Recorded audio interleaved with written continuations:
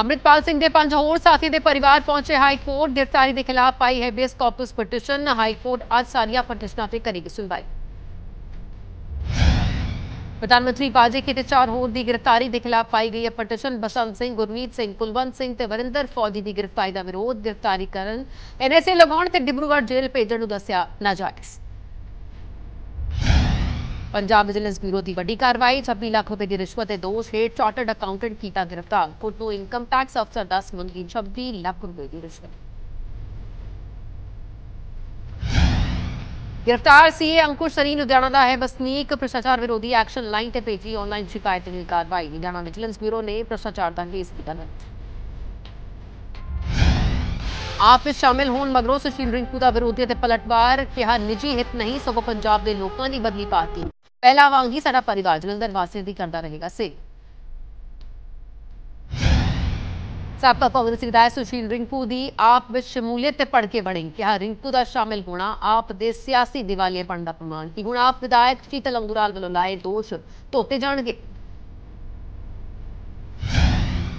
ਜਦਾ ਜ਼ਿਮਨੀ ਚੋਣ ਦੇ ਬਹਾਨੇ ਵਿਰੋਧੀ ਧਿਰਾਂ ਦੀ ਜੁੱਟਾ ਦੇ ਸਿਆਸੀ ਬਿਆਨਬਾਜ਼ੀ ਤੇਜ਼। ਪ੍ਰਤਾਪ ਬਾਜਵਾ ਵੱਲੋਂ ਦਿੱਤੇ ਸੱਦੇ ਕੇਜਰੀਵਾਲ ਨੇ ਨਕਾਰਿਆ ਕਿਹਾ ਲੋਕਤੰਤਰ ਵਿੱਚ ਵਿਰੋਧੀਆਂ ਦੇ ਏਕੇ ਤੋਂ ਜ਼ਿਆਦਾ, ਜਨਤਾ ਦੇ ਏਕੇ ਦੇ ਮਾਇਨੇ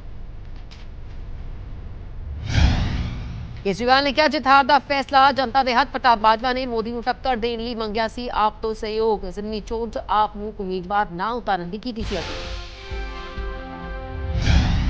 ਪ੍ਰਤਾਪ ਬਾਜਵਾ ਦੇ ਸੱਦੇ ਤੇ ਭਾਜਪਾ ਆਗੂ ਰਾਜਕੁਮਾਰ ਵੇਰਕਾ ਦਾ ਤੰਜ ਕਿਹਾ ਕਾਂਗਰਸ ਨੇ ਚੋਣਾਂ ਤੋਂ ਪਹਿਲਾਂ ਹੀ ਕਬੂਲੀ ਆਪਣੀ ਹਾਰ ਪੁੱਛਿਆ ਕਿ ਕੀ ਕਾਂਗਰਸ ਨੂੰ ਆਪਣੇ ਤੇ ਵਿਸ਼ਵਾਸ ਨਹੀਂ ਰਿਹਾ।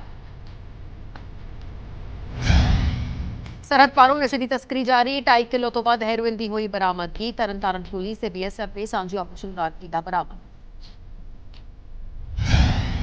ਪੁਲਿਸ ਨੇ ਇੱਕ ਤਸਕਰ ਨੂੰ ਵੀ ਕੀਤਾ ਗ੍ਰਿਫਤਾਰ। ਡਰੋਨ ਦੇ ਜ਼ਰੀਏ ਭਾਰਤੀ ਸਰਹੱਦ ਵਿੱਚ ਛੁੱਟੀ ਗਈ ਸੀ ਹੈਰੋਇਨ। ਤਲਾਸ਼ੀ ਦੌਰਾਨ ਖੇਤਾਂ ਚੋਂ ਮਿਲੀ ਹੈ ਦਿੱਲੀ ਪੁਲਿਸ ਸਪੈਸ਼ਲ ਸੈੱਲ ਦੀ ਵੱਡੀ ਕਾਰਵਾਈ ਹਥਿਆਰਾਂ ਸਮੇਤ ਦੋ ਗੈਂਗਸਟਰ ਕੀਤੇ ਗ੍ਰਿਫਤਾਰ ਅਤਿਆ ਰਾਜਪੂਤ ਤੇ ਕੁਲਦੀਪ ਚੜੇ ਪੁਲਿਸ ਦੇ ਅੜਿੱਕੇ। ਲਾਰੈਂਸ ਬਿਸ਼ਨੋਈ ਤੇ ਸੰਪਤ ਨਹਿਰਾ ਗਿਰੋਹ ਦੇ ਨਾਲ ਹਨ ਸੰਬੰਧਿਤ 8 ਪਿਸਤੌਲ ਤੇ ਕਾਰਤੂਸ ਵੀ ਹੋਏ ਬਰਾਮਦ।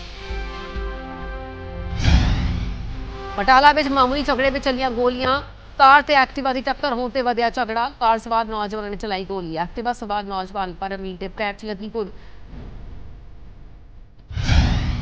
ਜ਼ਿਲ੍ਹਾ ਮੋਗਾ ਦੇ 12 ਪਿੰਡਾਂ ਦਾ ਸਰਕਾਰ ਨੂੰ ਅਲਟੀਮੇਟਮ ਡੀਸੀ ਦਫ਼ਤਰ ਕੇਰ ਕੀਤੀ ਆਪ ਸਰਕਾਰ ਦੇ ਖਿਲਾਫ ਨਾਅਰੇਬਾਜ਼ੀ। ਐਕਵਾਇਰ ਜ਼ਮੀਨਾਂ ਦੇ ਟੁੱਟੇ ਵਾਜ਼ਨ ਲੈ ਕੇ ਲਾਮਬੰਦ ਹੋਏ 12 ਪਿੰਡ।